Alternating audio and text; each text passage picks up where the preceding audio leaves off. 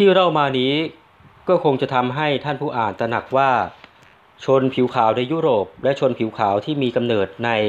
ประเทศแอฟริกาใต้มีสันดานต่างกับต่างกันราวกับเป็นคนละโคตรทีเดียว คืนหนึ่งบุญพบไปนั่งดื่มเบียร์ในร้านทหารค่พบทหารอังกฤษ 3-4 คนที่มาในเรือสีบายะด้วยกัน พวกนั้นถามบุญพบว่าไปเที่ยวในเมืองบ้างหรือเปล่า บุญพบตอบไปว่า ครั้งเดียวก็พอแล้วไม่อยากไปอีก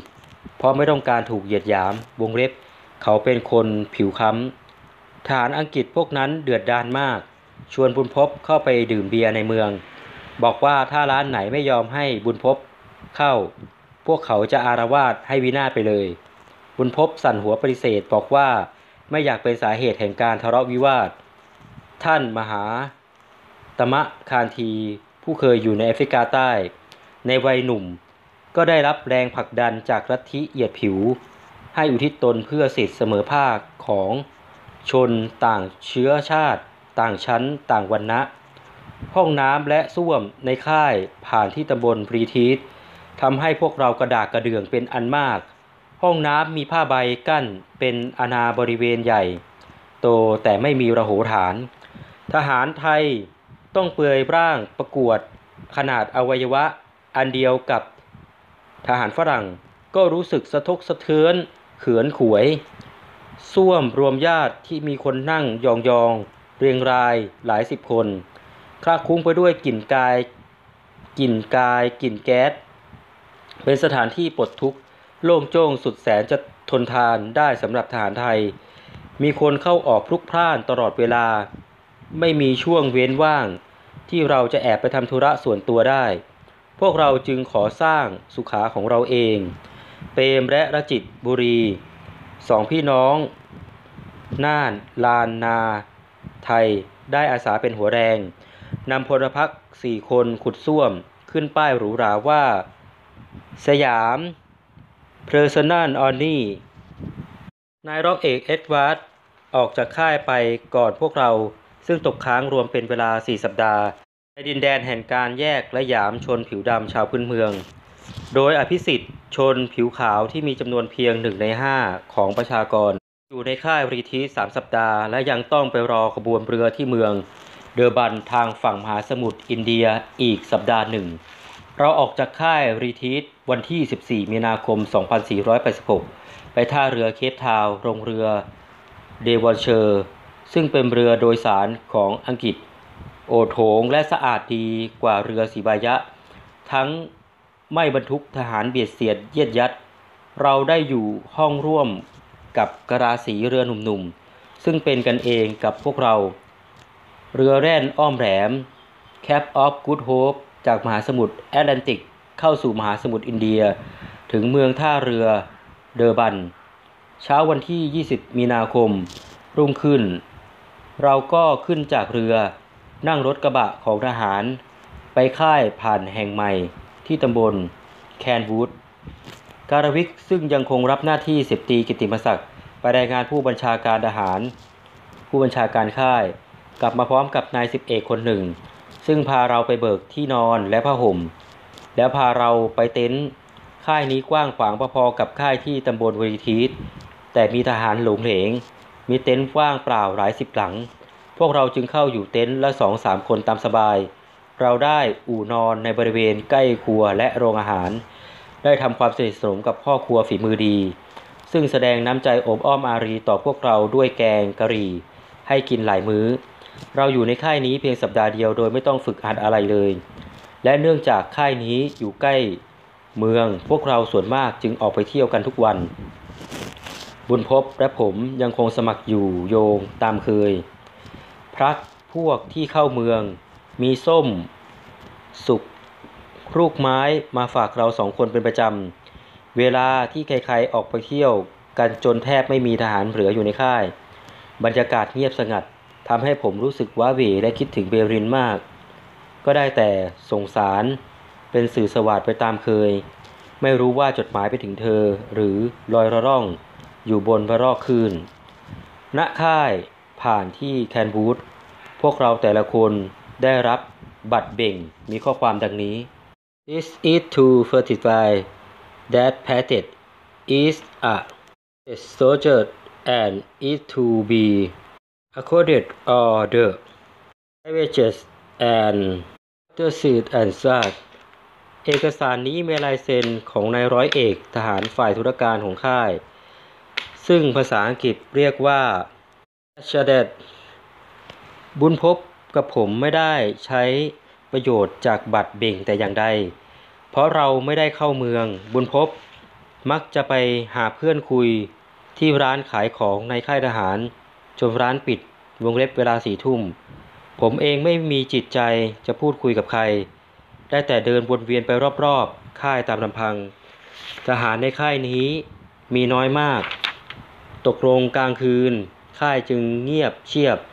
ตามวิสัยคนที่ชอบผ่อนคลายอารมณ์กับธรรมชาติ มากกว่าระบายความในใจกับมนุษย์ ผมก็เดินดุ่มด่อมแปรเหรียวเปลี่ยวเปล่า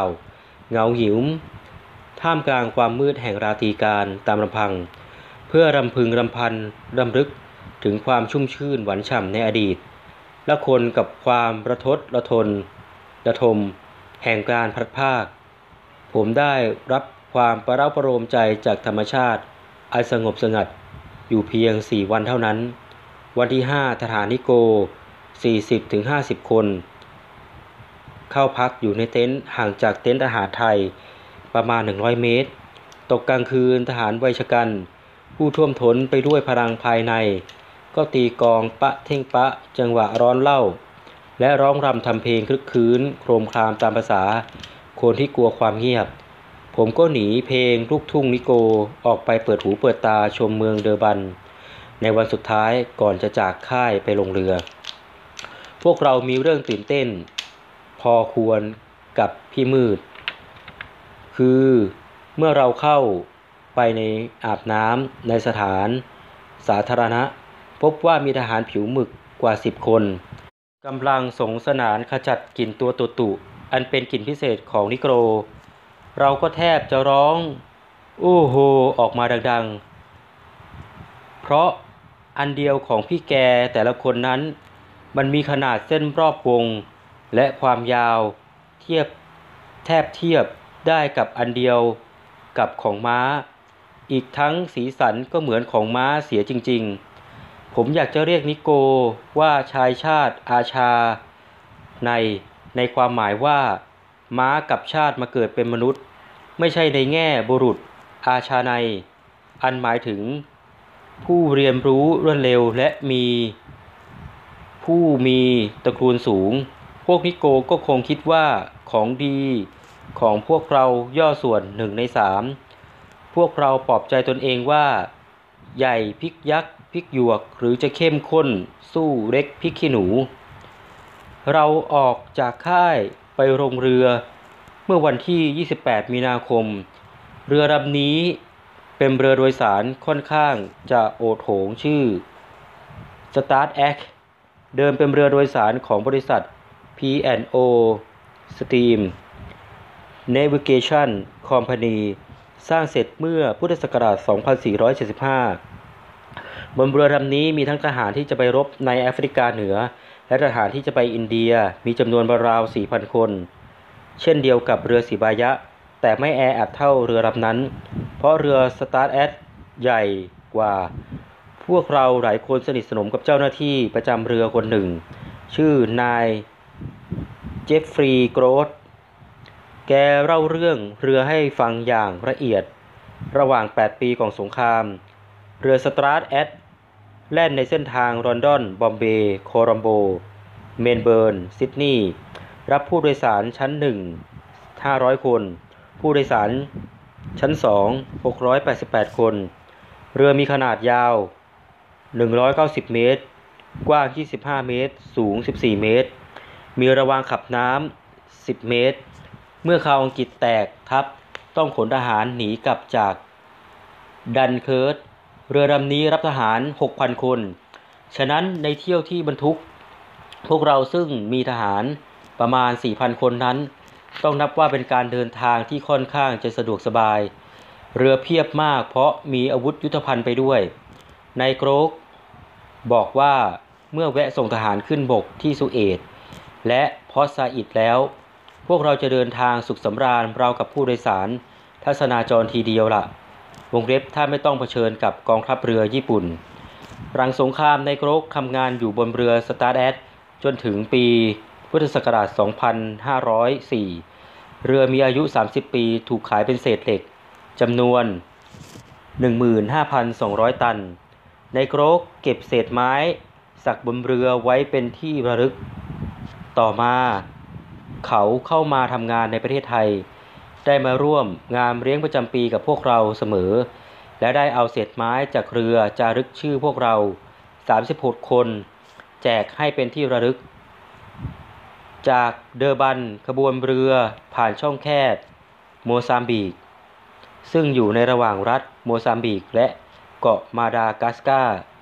ตลอดการเดินทางช่วงนี้คลื่นลมสงบ พวกทหารทั้งหลายสดชื่นรื่นลมกับความงดงามของธรรมชาติ ภายใต้ฟ้าสีคราม และกับความงามในยามดวงอาทิตย์ขึ้นและตก ทหารอังกฤษส่วนมากไม่เคยรู้จักบรรยากาศแถบประเทศร้อน จึงตื่นตาตื่นใจกับทิวทัศน์มาก แม้พวกเราก็มิได้เห็นทัศนียภาพเช่นนั้นมานาน แล้วจึงพลอยตื่นเต้นไปกับทหารฝรั่งด้วย ตอนนี้ทหารแต่งเครื่องแบบเมืองร้อนกันทั้งนั้น และอันที่จริงก็แต่งเครื่องแบบ เฉพาะเวลาที่มีการตรวจความเรียบร้อยบนเรือเท่านั้น การซ้อมเข้าประจำที่เพื่อหนีจาก เรือในกรณีที่โดนปอร์ติโดคงมีอยู่เช่นเคย ในช่วงนี้ผมไม่ได้บันทึกว่าเรือถึงเอเดนเมื่อใด ส่งทหารขึ้นบกที่สุเอตและพรอสซาอิดเมื่อไหร่ อากาศในทะเลแดงร้อนอบอ้าวมาก หลังจากที่ทหารที่จะไปรบในแอฟริกาเหนือขึ้นจากเรือแล้ว เรานอนบนดาดฟ้ากันตลอดจนถึงบอมเบย์การเดินทางนี้เลิกงามยามดี ไม่มีดาวร้ายให้โทษ ลูกนาวีและลูก พระพายฝ่ายข้าศึก ก็ไม่ได้มาแพร่พานรังควานขบวนเรืออังกฤษที่กำลังเคลื่อนเข้าสู่ท่าบอมเบย์ทางฝั่งตะวันตกของอินเดีย ทหารได้อยู่อย่างสุขสำราญไม่แออัด ต่างก็คึกคืนเบิกบานกันทั่วหน้าในทหารผู้ควบคุมและเจ้าหน้าที่ประจำเรือได้พร้อมใจกัน จัดงานเบื่นเริงขึ้น มีการแข่งขันกีฬาการแสดงจำอวดและคอนเสิร์ต วกเรามีเพียง 36 คนในบรรดาทหาร 2,000 คน แต่ได้เข้าร่วมการแข่งขันกีฬาทุกประเภท รวมทั้งการชกมวย ศิลปินบุญพบแสดงรำไทยซึ่งคนสนใจมาก จนได้รับการขอร้องให้แสดงสองรอบ ในงานแข่งขันกีฬาพวกเราที่เป็นนักกีฬาได้แก่ ประธาน ป่วย การวิกกกษัตริย์ สวัสดิ์ธนา จิรีดนัยพีเสเดช สนอปัดทำชื่อเสียงให้เราทหารไทยมาก โดยเฉพาะจิรีดนัยซึ่งเล่นกีฬาทุกประเภท เรากับว่าไม่ต้องออกแรงเก่งเนื้อเก่งกล้ามเลยทำทุกอย่างดูเป็นของง่ายๆไปหมด สวัสด์หนุ่มร่างเล็กและเตี้ยที่สุดในบรรดาคนไทย กระโดดสูงอยู่กับที่วงเล็บคือ ไม่วิ่งกระโดด ได้ที่สองรองจากฝรั่ง ซึ่งสูงกว่าเกือบ 10 นิ้ว ชนะใจคนดูจนฝรั่ง เรียกว่า Little Jumping Jack คนไทยซึ่งอีกหลายคนที่ชนะใจคนดูคือการวิก เทพและโตซึ่งเข้าชกมวย การวิกไข้ขึ้นนิดหน่อย และแพทย์สั่งให้พักผ่อน แต่ไม่ยอมถอนตัว เพราะเห็นว่าชกเพียงสามยกเท่านั้น แต่เคราะห์ไม่ดีไปโดนคู่ต่อสู้ซึ่งก่อนสงครามมีอาชีพเป็นพนักงาน รักษาความสงบในร้านเหล้า มีหน้าที่ปราบปรามโยนคนเมาที่อาละวาดออกจากร้าน พวกเราให้ฉายาพี่แกว่านายรถถัง วงเล็บชื่อจริงของแกคือ Sapper Farrell แกมีภาษา ภาษี กว่าหัวหนักทุกประตู สูงกว่าล่ำกว่า ผมตกกว่า แต่หัวหนักก็ชกอย่างนักสู้ ทั้งๆทที่มีไข้ทำให้ขาดความคล่องตัว เมื่อรู้กันภายหลังว่าหัวหนักขัดคำสั่งของแพทย์ ทหารฝรั่งก็เลยยกย่องหัวหนัก ราวกับเป็นดารามวยระดับโลก พวกเราตื่นเต้นมากเมื่อรู้ว่าเทพจะขึ้นชก มวยรุ่นแบนตัมเพราะแกพุงยื่นจนได้รับฉายาว่าแตงโม แต่ความจริงแกเป็นคนซ่อนกล้ามและซ่อนลายนักสู้ แทบไม่มีใครรู้ว่าแกเป็นนักมวยที่โรงเรียนบวรนิเวศ เมื่อผมเห็นคู่ชกของเทพ ความตื่นเต้นก็กลายเป็นความตื่นตระหนกตกใจ จนรู้สึกหนาวหนาวร้อนร้อนๆ เพราะคู่ชกของแกจมูกปี้แบน และหน้าเป็นริ้วราวกับนักมวยอาชีพ ก้ามเป็นมัด ต่างกับก้ามของเทพ ซึ่งกลมกลืนกับไขมันจนแยกไม่ออก เทพยืนหยัดเผชิญคู่ต่อสู้อย่างใจเย็น พอเริ่มชกผมก็แทบจะหลับตา เพราะเจ้าบี้เต้นแสดงฟุตเวิร์กอย่างน่าเกรงขาม ปราดเปรียวทั้งแขนขา มิหนำซ้ำเวลาปล่อยหมัดทำเสียงฟุตฟิตฟุตฟิตขู่ขวัญด้วยเสียด้วย รัวหมัดบุกยิกยิกเข้าใส่เทพ แล้วหลบฉากรวดเร็วราวกับหนุมาน เทพได้แต่เดินสะกดรอยตามอย่างเนิบนาบ ขยับหมัดยิกยิกแต่นานๆจะชกลมสักครั้ง เจ้าคู่ชกก็ทำเหมือนว่าซ้อมชกกระสอบทราย การชกผ่านไปสองยก เทพ ชกลมตลอดเวลาขึ้นยกสามผมปอดแหกแทนเทพ เพราะเกรงว่าเจ้าจ็อกกี้คู่ชกของแกจะเผด็จศึก แต่มันน่าประหลาดใจอยู่อย่างหนึ่งว่า เทพไม่สวนเซเลยเมื่อถูกหมัดจ็อกกี้ ยกสุดท้ายนี้จ็อกกี้หยุดเต้นระบำปลายเท้า คงจะปักหลักเพื่อน็อกเอาท์เทพ ซึ่งเป็นนาทีทองของเขา เขารั่นหมัดขวา ที่ขยับยึกยึกมานานแล้ว ออกไปถูกปลายคางจ็อกกี้อย่างถนัดถนีสุดเวียง จ็อกกี้ร้องอุ๊บ ยืนโยกเยกอยู่กลางเวทีและทำตาเหลือก แท้ที่เทพจะต่อยซ้ำให้จ็อกกี้กิ้งไป กับแตะแขนจ็อกกี้แล้วบอกว่า I am sorry จ็อกกี้หายช็อกก็เริ่มชกต่อไป แต่คราวนี้ดูเหมือนหมัดของเขาจะหมดพิษสงเสียแล้ว เทพก็ทำท่าจะยั้งมือ เลยแพ้คะแนน นักมวยไทยคนที่ 3 คือโตเป็นรุ่นไฟเวทคู่ชกคู่คู่ชกสูงกว่าตัวโตมาก เพราะโตเป็นคนเล็กร่างเตี้ย ในบรรดาคนไทยอยู่แล้วมีหนำซ้ำเวลาชกยังก้มตัวต่ำลงไปอีก และแทนที่จะใช้แขนซ้ายสำหรับแย็บกับงอศอกเอาแขนซ้ายปิดหน้า มองลอดแขนดูคู่ชก เจ้านั่นงงไม่รู้จะชกยังไง เพราะโตทำตัวงอจนหน้าลงไปอยู่ ระดับเอวคู่ต่อสู้ เจ้านั่นชกไม่ถนัด ทั้งหน้าทั้งลำตัวของโต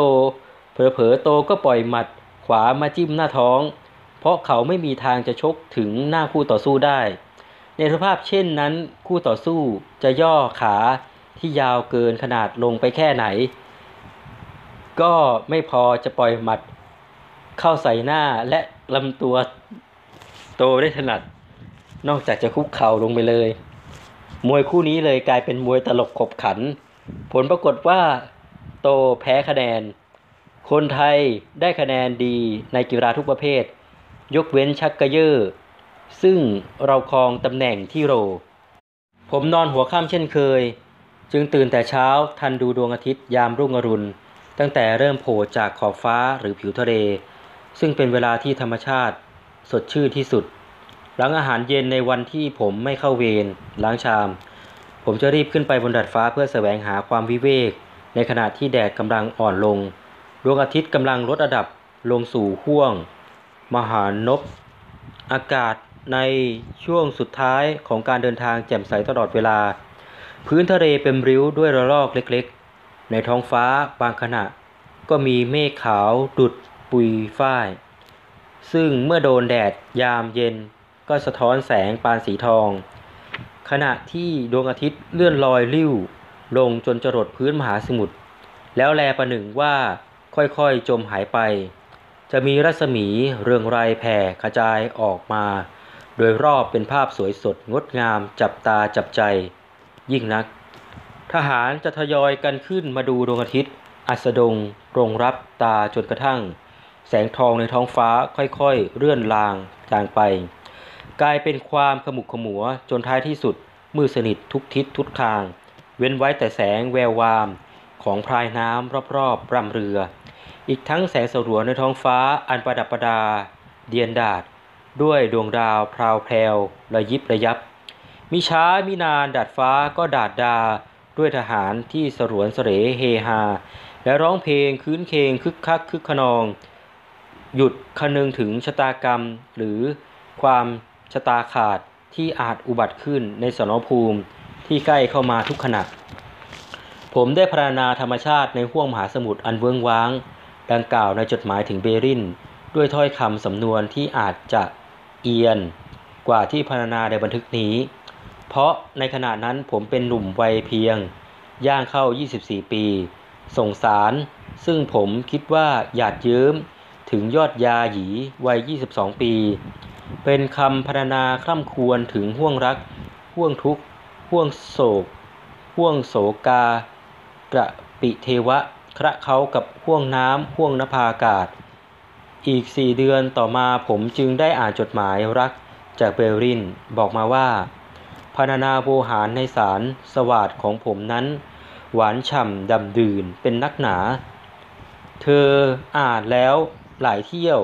และยังจะอ่านซ้ำแล้วซ้ำเล่าอีกนับครั้งไม่ถ้วนคำพรรณนาของผมออกจะเยินเย่อมากกว่าหยดย้อย จึงขอนำเอาคำพรรณนาของพลทหารอังกฤษผู้หนึ่งซึ่งสั้นกระทัดรัดสุดยอด แต่แสดงความรู้สึกซาบซึ้งตึงใจ ของพวกเขาไม่ยิ่งหย่อนกว่าสำนวนสวิงสวายยืดยาดของผมพลทหารผู้นี้ยืนจ้องสุริยา ยามสายัน อัสดงอยู่ใกล้ๆ ผมสีหน้าและแววตาแสดงออกซึ่งความประทับใจอย่างสุดซึ้ง เขาทอดสายตามองขม้นทัศนียภาพ อันงดงามดุดภาพบนสวนสวรรค์ อยู่สองสามนาทีโดยไม่ปีปราก ในที่สุดเขาก็อุทานด้วยน้ำเสียงหนักแน่นว่า fucking r e b r y ซึ่งผมขอถอดเป็นไทยว่า สวยชิบหายคำว่า fuck เป็นศัพทานุกรมของชนชั้นกรรมาชีพอังกฤษ แปลว่า ร่วมประเวณี เมื่อเติมอิงก็จะเป็นคำวิเศษ ที่แสดงความรู้สึกท่วมท้น ล้นพ้น เป็นภาษาอังกฤษที่ ไม่มีคำใดซึ่งแสดงความรู้สึกท่วมท้น ได้ย่นย่อและหนักแน่นเท่าคำนี้ แต่มันไม่ใช่คำในภาษาวรรณคดี ในที่สุดการบรอนแรมมาราธอนของเราก็สิ้นสุดลง เมื่อเรือจอดเทียบท่าบอมเบย์วันที่ 26 เมษายน 2486 การเดินทางจากเมืองท่าลิเวอร์พูลในอังกฤษวงเล็บเราลงเรือที่นั่นเวลาวันที่ 16 มกราคม 2486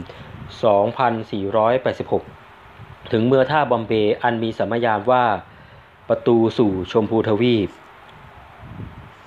The Great Way of India กินเวลา 3 เดือน 13 วัน เป็นเวลารอยละล่องบนท้องทะเล 75 วัน และพักผ่านแอฟริกาใต้ 28 วัน อ่าวบอมเบย์เป็นอ่าวสวยงามน่าดู มีต้นไม้จำพวกปรามเรียงรายบนฝั่ง และมีทิวเขาเรียงรายไกลออกไปทิศตะวันออก อาคารบ้านเรือนที่แลเห็นได้จากเรือแสดงว่า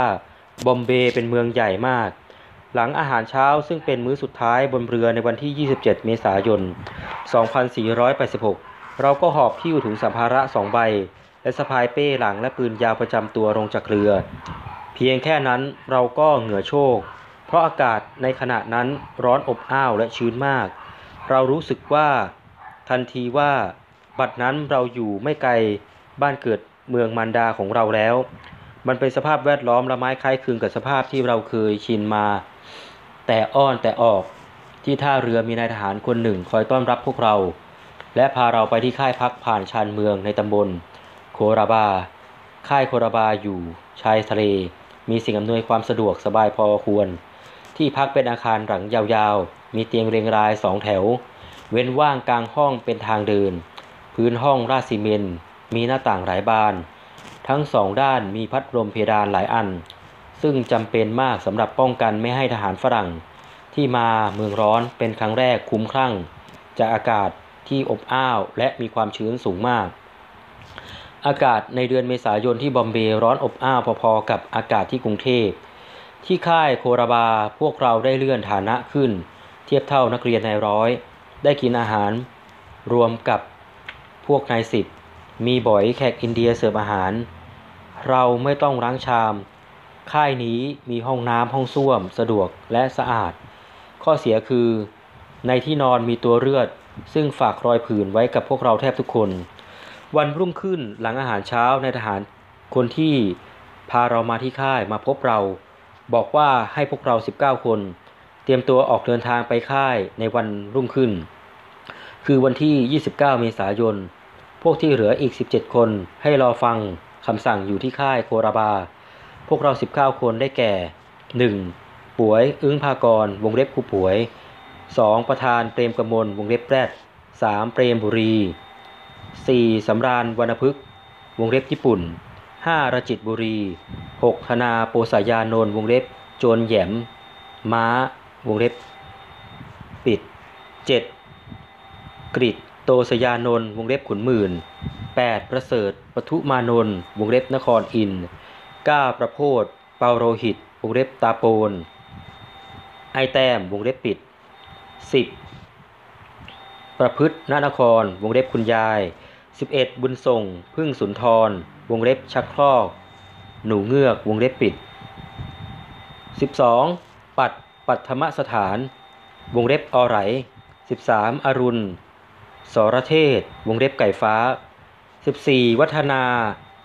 ชิด วารี วงเล็บ ก้างกระปาน 15. กำแหงพรางกูลวงเล็ก นกกระเด้าลม 16. หม่อมเจ้าพีเสเดชรัชนี วงเล็บแขกขมิน 17. หม่อมเจ้าการวิกจักรพันธ์วงเล็บหัวหนัก เจ้งเหม็ง วงเล็บปิด 18. หม่อมเจ้ากอกษัตริย์ สวัสดิวัตรวงเล็บสี่เหลี่ยม นอนวงเล็บปิด 19. หม่อมเจ้าจีรีดนัยกิติยากร วงเล็บตาเหมา พวกเรา 19 คนนี้บ้างก็เป็นคนแข็งแรง ใจคอหนักแน่นหรือใจเย็น บ้างก็เป็นคนมีไหวมีพริบ บ้างก็เป็นคนร่าเริงเข้ากับคนง่าย กลุ่มนี้เป็นกลุ่มใหญ่ที่สุด และต่อมาอีก 3 คนถูก ส่งไปสมทบกับกลุ่มใหญ่รวมเป็น 22 คน ภายหลังกลุ่มอื่นๆจึงได้ ทราบว่ากลุ่ม 22 คนนี้ ได้รับการฝึกฝน ฝึกรบแบบกองโจร และสืบราชการลับ การเคลื่อนไหวของกลุ่มนี้ถูกทางการทหารปิดบังเป็นความลับ พวกที่เหลือไม่ค่อยรู้ข่าวคราวของพวก 22 คนนี้ จดหมายถึงพวกนี้จะถูกส่งไปยังสำนักงานกลางในกรุงเดนฮี และถูกส่งต่อไปยังค่ายฝึก พวกนี้ถูกเปลี่ยนชื่อหมด และถูกห้ามใช้ชื่อจริง ใครที่โดนเรียกชื่อจริง บางครั้งบางคราวแล้วขานรับจะรับคำเตือนว่าดวงจะดับเอาง่าย ๆ ในเมืองไทย พวกที่อยู่นอกกลุ่มนี้ 14 คนวิตกกังวลว่าพวก 22 คนนี้ส่วนมากจะตายโหง เดือนเมษายน 2486 เป็นเดือนสุดท้ายที่พวกเรา 36 คนจะได้อยู่ด้วยกัน เรารู้สึกตื้นตันใจอะไรอาวรณ์กัน เพราะได้ร่วมทุกข์ ร่วมสุขวงเล็บมากมาย และร่วมสุขวงเล็บนิดหน่อย ด้วยกัน 9 เดือน เกรงว่าพวกเราจะไม่ได้พบกันอีกจนกว่าสงครามจะยุติ และเมื่อนั้นจะมีเหลืออยู่ดูหน้ากันอีกกี่คนก็ไม่รู้ เมื่อพวกเรา 17 คนไปส่งสหาย 19 คนที่สถานีรถไฟ การหยอกล้อกันออกจะเฟื่อนๆจะไม่สู้จะคืนเคงนัก เมื่อขบวนรถด่วน เคลื่อนจากสถานีลับตาไปแล้ว เราก็ชวนกันออกเดินเตร็ดเตร่เข้าเมืองบอมเบย์ทางเดินริมทะเลที่เรียกว่ามารีนไดรฟ์หรูหราพอดูทีเดียว แหล่งการค้าของเมืองบอมเบย์มีร้านค้ามากมาย และค่อนข้างสะอาด สะอ้านบริเวณเกตเวย์ออฟอินเดียเป็นสถานที่โออาโออ่างโอโถง มีโรงแรมมีชื่อเสียงที่สุด ห่งหนึ่งของอินเดียชื่อ โรงแรมชาชมาฮาน เป็นอาคารสวยงามทั้งภายนอกภายใน เมื่อได้ยศร้อยตีแล้ว พวกเราบางคนที่ฝึกอยู่ในค่ายซึ่งอยู่ไม่ไกลจากบอมเบย์วงเล็บราวๆ 125 ไมล์หรือ 200 กิโลเมตร ก็พากันมาพักผ่อนหย่อนใจที่เมืองนี้อีก ขณะนั้นอากาศในเมืองร้อนอบอ้าวและชื้นทำให้เราเหงื่อไหลใครย้อยตัวเหนียวเนอะหนัก เราจึงกลับไปกินอาหารกลางวันที่ค่าย หลังอาหาร กลางวันพวกเราจะมักจะนอนแผ่อย่างระโหยโรยแรง สวมกางเกงขาสั้นตัวเดียว การนึ่งน้อยห่มน้อย นอกจากจะทำให้ตัวเหนอะหนาน้อยลง ยังทำให้เราเห็นตัวเลือดที่กระหายเลือดได้ง่าย เราพบว่ามันซุกซ่อนอยู่ตามซอกเชือกตะข่ายที่ขึงเป็นพื้นเตียง และตามซอกฟูก เราจึงร่าเลือดกันเป็นการใหญ่ หลังอาหารเย็นเรานั่งรถม้าไปชมเมืองยามราตรี รถม้าพาเราผ่านเมืองใหม่เข้าไปในเมืองเก่า ซึ่งเป็นถิ่นคนจน เราลงเดินดูชีวิตความเป็นอยู่ของยาจก เห็นแล้วก็เกิดความสังเวชขนาดหนัก ขนาดหนัก เพราะเราไม่เคยพบเห็นความยากจนข้นแค้นเช่นนั้นในเมืองไทย เมื่อเราเดินผ่านถิ่นโสเพณี มีอบังมาขยันขยอให้เราเสพกาม กับหญิงงามเมือง ซึ่งนั่งหรือยืนเกาะลูกกง หน้าต่าง อวดโฉม แก่กระทาชาย ที่สัญจรไปมา พวกเราเห็นนางโรมผิวหมึกขนาดแท้ และดั้งเดิมแล้วก็หดหู่เหี่ยวแห้ง ไม่เคยนึกฝันว่าในโลกนี้ จะมีหญิงหากินที่น่าสมเพช เวทนาถึงขนาดนั้น หาความน่าพิศวาสไม่ได้เลยแม้แต่น้อย หลายคนก็ออกจากค่ายมาเที่ยวอย่างคึกคักเยี่ยงชายหนุ่ม ที่อดอยากปากแห้งเกือบสี่เดือน เมื่อเห็นภาพอันน่าทุเรศเข้าแล้วก็หมดฟิลลิ่ง เสือป่าก็กลายเป็นเสือสวนสัตว์ ปลุกใจไม่ขึ้น ขึ้นรถม้ากลับค่ายอย่างท้อแท้ป้อแป้ หลังจากนั่งนั่งนอนนอนอยู่ในค่ายโคราบา อีกเกือบหนึ่งสัปดาห์ พวกเราที่เหลือก็ต้องแยกย้ายกันอีกครั้งหนึ่ง มีคำสั่งมาว่าให้หลวงพลัด หลวงอาจ หลวงจีรายุทธสวัสดิ์จุนเคงสนอประจิต วิรัน และผมเดินทางไปกรุงเดนฮี ยังคงเหลือพวกเราตกค้างอยู่ที่ค่ายอีก 8 คน ได้แก่กิตินัดดา กิน บุญพบ บุญเลิศ สว่าง เทพ โต และยิ้มยนต์ ซึ่งไม่ช้าก็แยกย้ายกันไปอีก